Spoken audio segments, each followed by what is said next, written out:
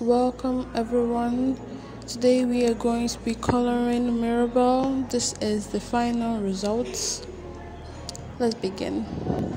So as you all can see, we already have our background here and I already colored out these small details because I didn't want them to waste time for this tutorial.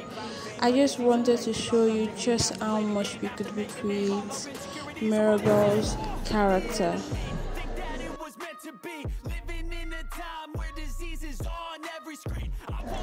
So we're going to try out different shades for Mirabel skirts. Why? Because there is no limit to the amount of colors you can use. We can just try out different type of colors to see which one would really fit our character, at least which one will make us satisfied with what we have. And for me, I would say this shade is looking pretty okay let's see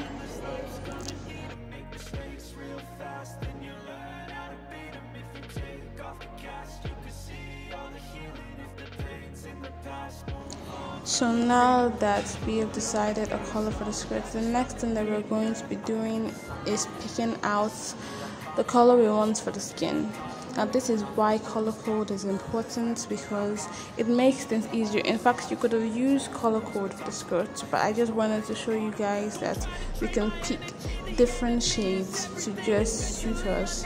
It doesn't really have to be with color code, but color code makes things basically easier, especially when you're dealing with skin tone.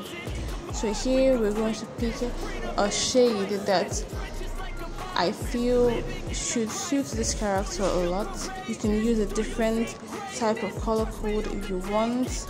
It personally depends on you.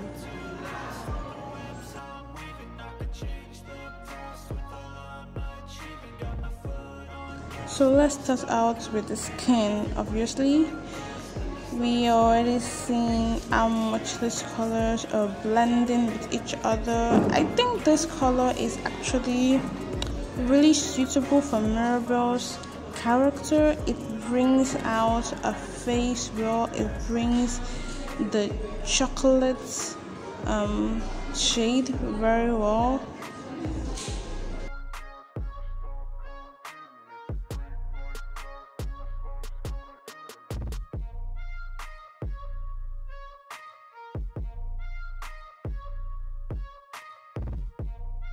Also don't forget that i'm using the magic wand tool to select different parts of my images because it makes things easier.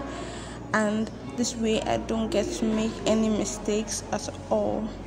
And you can see how i was able to pick smaller section because of the magic wand tool and it actually blended very well and look our character is coming to life already. I can see Mirabel already.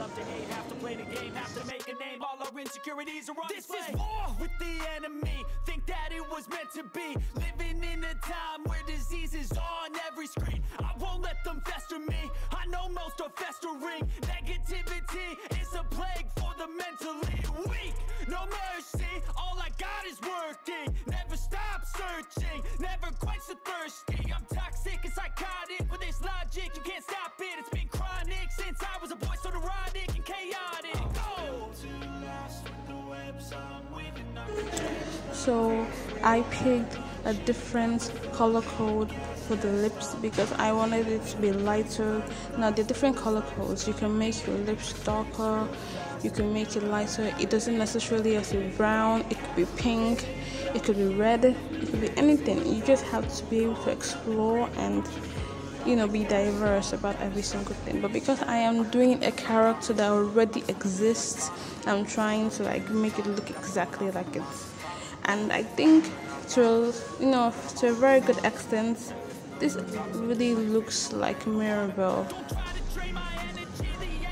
thank you guys so much for watching this video. Don't forget to like comment and subscribe thank you so much